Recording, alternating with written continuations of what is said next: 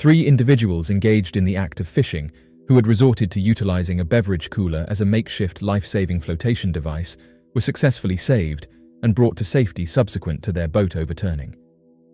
According to a press release from the Australian Maritime Safety Authority, an emergency beacon was activated off the coast of Eclipse Island, Australia. According to the press release, following the action taken by the Australian Maritime Safety Authority to dispatch a rescue aircraft to the location, the three individuals were located in the ocean in close proximity to a vessel that had overturned.